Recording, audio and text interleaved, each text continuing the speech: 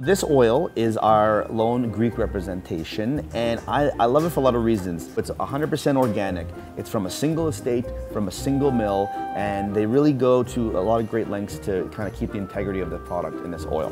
Grilled asparagus all summer long, drizzle this over that, or zucchini, or that fresh green flavor of vegetables, pairs really well with the Acropolis.